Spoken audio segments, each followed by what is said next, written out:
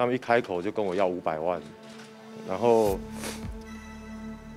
我本来想说为了电影好啊，我是愿意去跟他谈判。那昨天后来想一个晚上，我觉得这个就是恐吓。做导演柯梦荣爆呼马性侵，哽咽发布自杀声明，被勒索五百万。我昨天就有收到一个通知，说有一个叫做许正德的先生，然后在网络上说我做一些我没有做过的。坏事这样子。台产恐怖片《咒》近期上映，导演柯梦荣却被爆出性丑闻。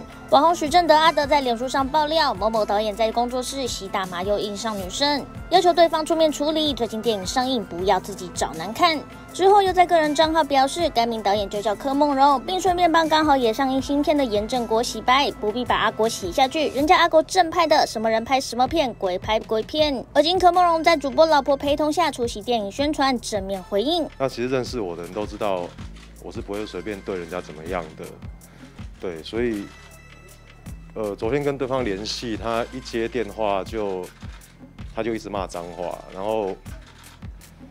其实我根本就不知道他在说谁，或是说什么事情，然后问他他也都不讲，对，所以我我他就说要找兄弟来处理，对，那对方好像有一点黑道背景，所以他们一开口就跟我要五百万，然后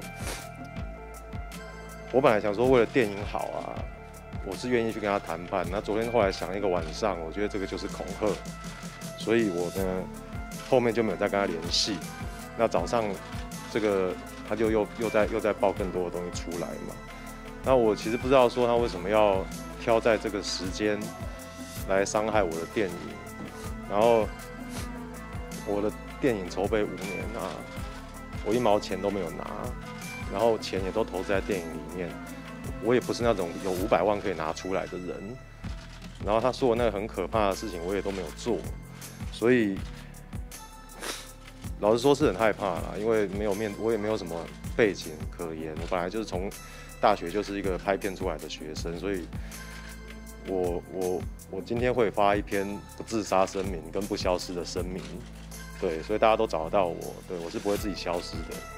然后我们也把这些证据都已经交给律师，然后我们会提告进入司法程序。谢谢大家。柯梦荣老婆会后也在脸书发文力挺，我相信我先生，他是一个正直善良的人，不会向任何恶势力低头。啊，这时进度跟很快的德哥又马上发文，直指柯梦荣昨晚还请他帮压事情，今天变成我恐吓你，并晒出跟疑似被害人的对话记录。需要访当事人来说，我愿意。听到这名字，看到这个人的脸，都还是让我觉得很恶心。单方声明之后，对方有在回应一些东西。是不是黑道跟这件事情有什么关系？”这样子，他说：“你有委托他压住事情，但是今天却说明他恐吓你，这样子，那是什么？”这部分我们就交给律师处理。谢谢哦，谢谢大家。谢谢大家。现在觉得人心比较可怕，还是宗教？